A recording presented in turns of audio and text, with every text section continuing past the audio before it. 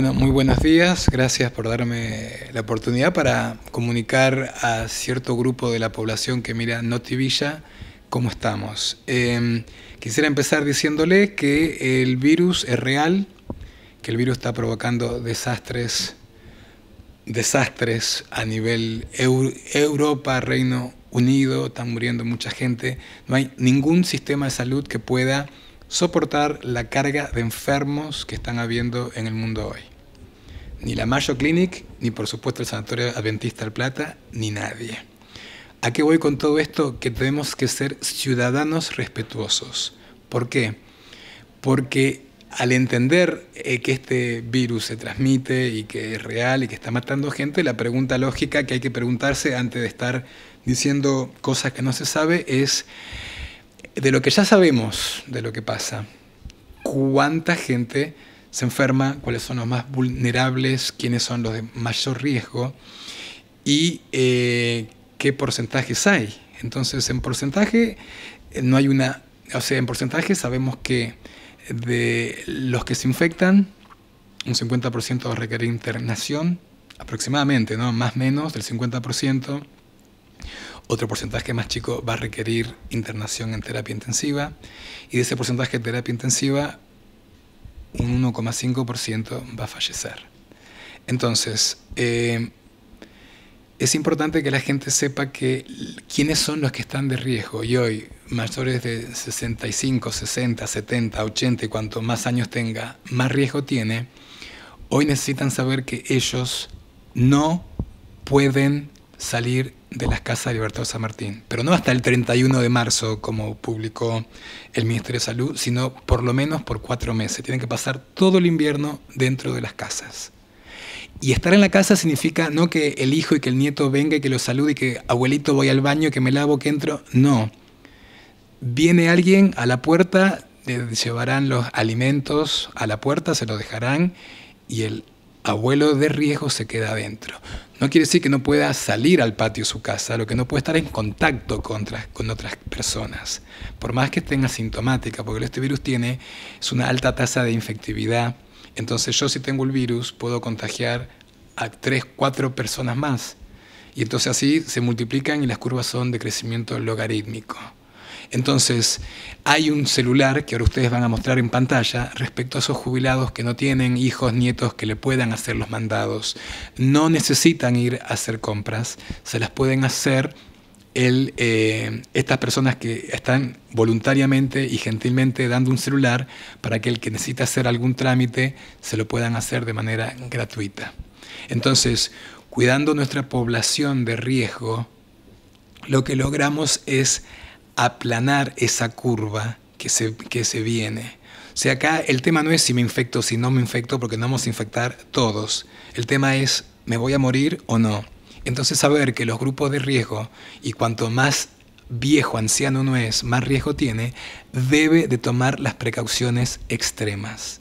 Reitero, esto no es un chiste, es real, y va a llegar el Libertador San Martín y no es que porque estemos en Libertad San Martín a nosotros no nos va a tocar, nos va a tocar. Entonces es importante estar como comunidad alertos a esto. Si alguien ve que hay alguien que tendría que estar en cuarentena y anda sacándose fotos diciendo acá estoy, llegué de Italia, de Japón, de donde, donde sea, se denuncia a la policía y la policía tomará las medidas correspondientes al tema.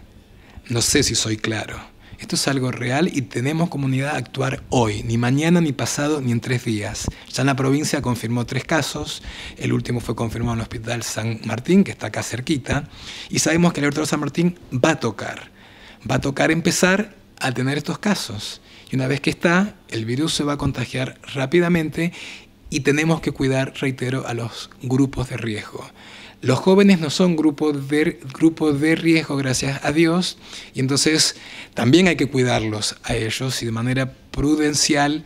Por eso todas las medidas son para que, no para que no nos contagiemos, nos vamos a contagiar, sino para que el contagio sea de manera secuencial y esa curva que se da en los picos que los países serios estudian, las estadísticas frías, dicen, che, esto se viene, el primer ministro Boris Johnson comentó hace unos días a la población, en canal de televisión, cadena nacional, por así decirlo, van a morir muchas personas acá en Gran Bretaña, porque ya hicieron el cálculo y saben que se va a morir y saben que la epidemia desborda por ocho veces su capacidad de eh, máxima de atención de los hospitales. Entonces, esto no es chiste, esto hay que tomarlo en serio. Por otro lado, también es importante saber diferenciar estas acciones que hay que hacer de manera personal, de manera municipal, de manera institucional, con las instituciones, con el municipio, con la UAP. Estamos trabajando mancomunadamente, codo a codo, desde hace tres semanas, viendo y adoptando las mejores medidas para que este grupo vulnerable pueda ser resguardado. Y estamos hablando de Libertad San Martín, por el sanatorio es un hospital de referencia de la provincia. O sea que esto es sin contar los que vendrán ya graves de otros lados. Entonces, señor televidente que nos está escuchando, eh, tome el consejo o deséchelo, pero creo que lo mejor en este caso es prepararse para lo peor. Dios quiera que no sea tan así, pero si no me preparo y no me concientizo de esto, sé que no estoy siendo un ciudadano consciente nuestra comunidad tiene muchos jubilados. Entonces los jubilados, reitero, quedarse adentro. Y después las otras medidas que ya todos saben, el toser en el ángulo interno, el evitar tocarse las cosas, lavarse las manos con alcohol, abrir las ventanas, evitar hacer el distanciamiento social, no ir a welcome, no festejar el cumpleañito del nieto, del tío, del sobrino, de nadie. Estamos, a ver, déjenmelo graficar de otra forma, estamos en una guerra. ¿Sí? Nosotros no estamos acostumbrados a vivir en guerra porque nunca estuvimos en guerra, pero si viviéramos en Irak, los iraquíes no festejan los cumpleaños. Están salvando sus vidas porque todos los días le caen bombas y mueren 3, 15, 20, 40 personas. Nosotros vamos a tener que acostumbrarnos a eso y si no nos concientizamos hoy, antes que haya llegado algún caso acá, será tarde después. ¿Sí? Entonces ese tema tiene que quedar en claro. Y no estoy siendo extremista, estoy siendo realista porque lo que digo lo saco de trabajos de estadísticas que son frías, los números son fríos. No, no les importa si son adventistas, católicos, mormones o musulmanes, son así. Entonces, esas son las medidas que como instituciones sanatoriales de la UAP y del municipio estamos tomando para poder cuidarlos. Pero eso no quita después que de manera individual tenga que tener mis defensas bien. Entonces son dos cosas para tener en cuenta. Y respecto a todas las cosas, que tomar agua caliente, que tomar, bueno, de paso, agua caliente me hace acordar algo que es muy importante. Está totalmente no recomendado tomar y compartir mate de acá hasta que pase todo esto a fin de año. Totalmente no recomendado infectológicamente tomar mate con nadie porque yo puedo tener el virus y ser asintomático. Y te doy un matecito, tomá querido matecito, y te tomaste y te contagiaste. Entonces otros países no tienen esto, nosotros sí. Entonces acá no se trata de cuestión religiosa ni nada, ni mucho menos. Se trata de cuestión lógica. El mate, haya coronavirus o no haya coronavirus, es un hábito totalmente promiscuo. Si las bombillas tuvieran, fueran de vidrio y uno mira cuánto... Está rico, ¿eh?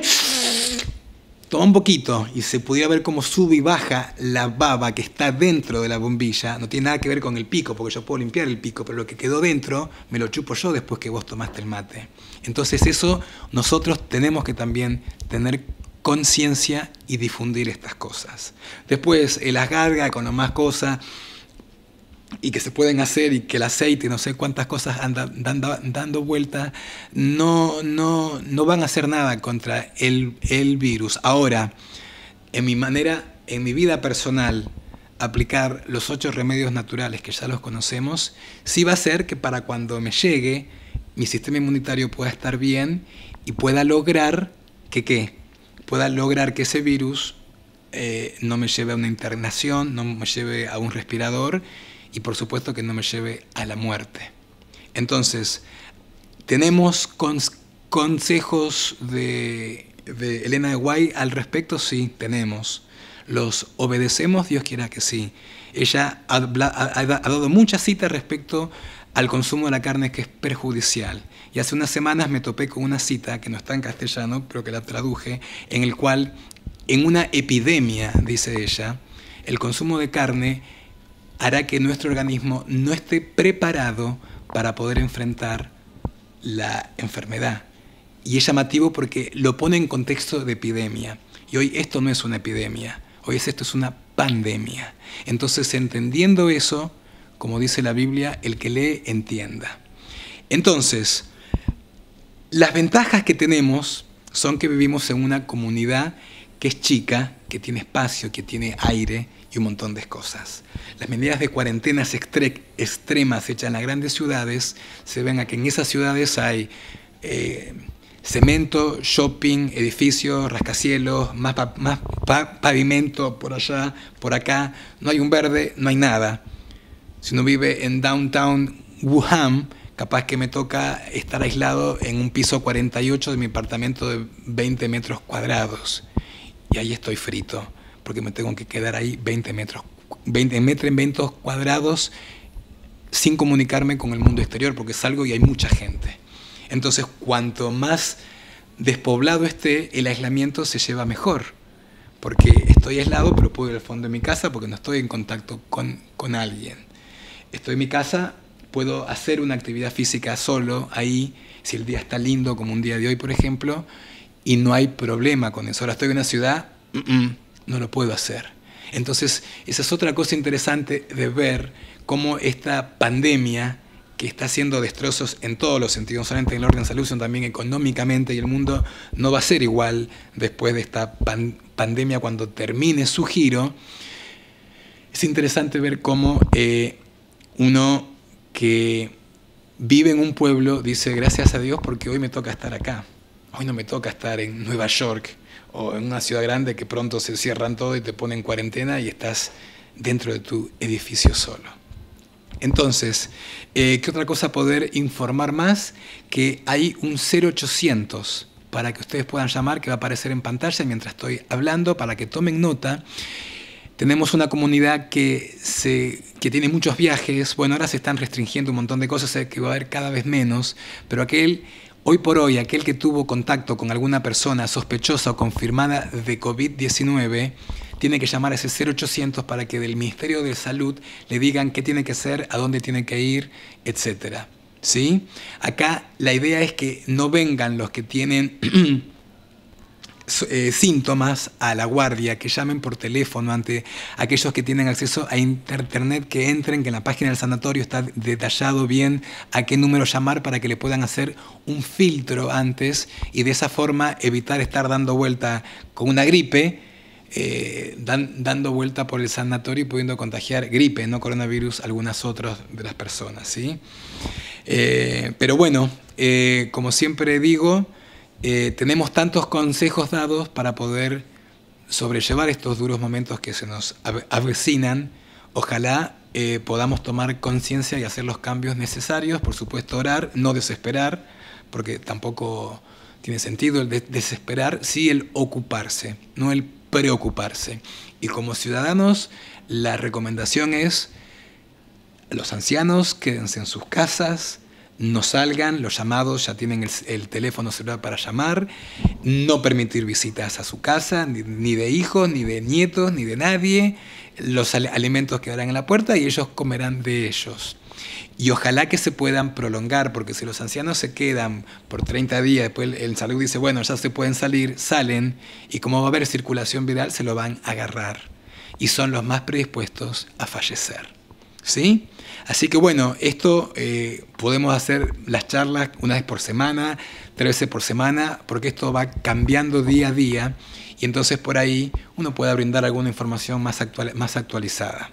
Capaz, doctor, cerrar con el hecho de que si uno tiene síntomas, es recomendable no eh, ir a una guardia, sino llamar a este número, recalcar eso. Correcto, justamente para poder ya dirigir, preparar a todo el equipo de salud si es que sospecha de lo que fuera y tener todo listo para que no haya una deambulación de alguien sospechoso pudiendo eventualmente contagiar.